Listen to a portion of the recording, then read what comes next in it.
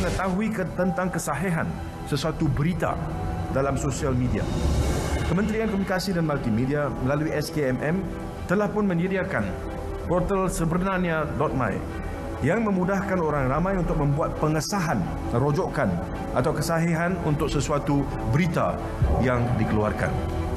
Orang ramai diingatkan untuk menggunakan internet secara berhemah dan tidak menyalahgunakannya untuk menyebarkan berita-berita yang tidak ditentukan kesahihannya meningkatkan kesedaran mengenai isu penipuan atas talian ataupun apa yang disebut uh, sebagai online scams seperti Macau scam, Love scam, 419, email menang cabutan loteri merupakan beberapa contoh yang telah pun memangsakan ribuan rakyat Malaysia.